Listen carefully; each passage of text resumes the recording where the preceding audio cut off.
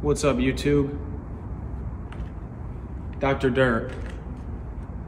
Today we are going to do a segment on tools. We have our enclosed trailer all cleaned out. We're going to get it all nice and tidy for the season. And a lot of the tools that we have in here, you don't necessarily need to do the job, but it makes the job a lot better often. So when you see this, this is strictly for, this is a hardscape setup. Some tools aren't necessary, but overall I've got a pretty, it's, it's not great, but it get, it's, it's good enough for me. I've got the right tools to do almost any job. There are tools that I could have, that I would like to have, but I can't afford right now.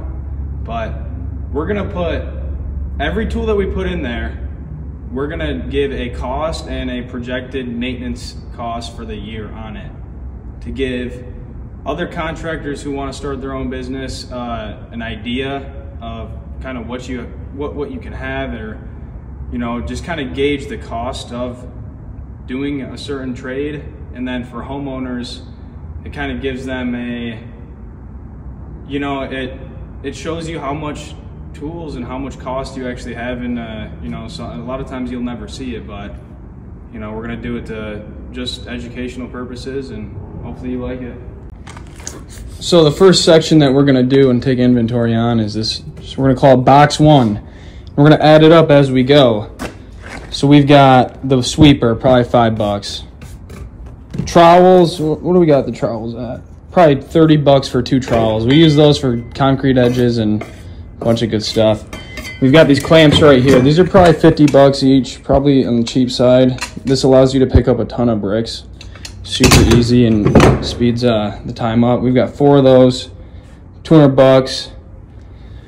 We got the chisel and a nice mason hammer for block and a regular hammer. We probably got 75 bucks there, easy. These are not cheap, mason hammers. Paint, probably 15 bucks worth of paint for marking out lines. We got these pads. These are for uh, these are for my buddy's mom. Just kidding. Uh, we got this uh, to clean the pavers off and just clean. Honestly, probably 15 bucks there. So between all of that, we probably got first box. We got 470 dollars. And that's probably on the cheap side because I bought all of this stuff probably three times. So 500 bucks for box one. All right, so here is the second box. Again, these are not tools we use every day. A lot of these are not needed, but we got a light, comes in handy. We use this vacuum to clean our cabs out of the machine so it's nice and tidy. We use a little leaf blower for poly sand. We use this saw to uh, make, you know, cuts before we use the big saw. It's more tedious. We got a nailer, don't use it often. Circular saw, we use it all the time for random stuff. Hammer drill, awesome. We got the grinder and multi-tool, drill and impact, router for specialty cuts, bigger impact for taking uh, lug nuts off, air pump, always popping tires and running low, so nice to have that. Grease gun, grease all the machines, all the batteries. This is about four grand worth of stuff, believe it or not. Adds up fast. Vac right here. Our vac was about $1,500. That picks up pavers and it allows you to get a way better set. Best tool I think I've ever purchased, hands down.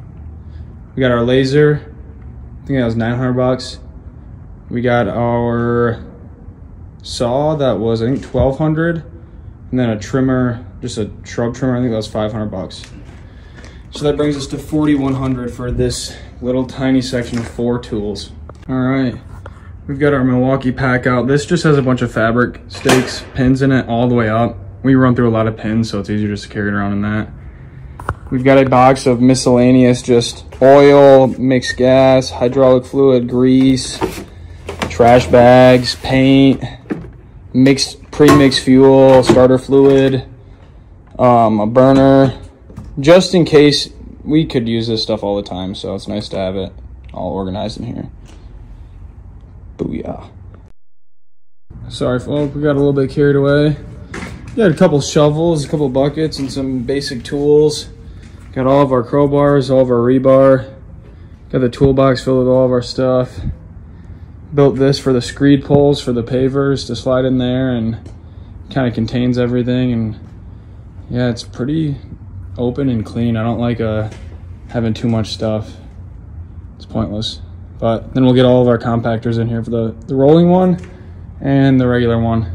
But yeah you probably between that and the trailer you probably have like 25 grand here so and it's not even that much stuff. Sucks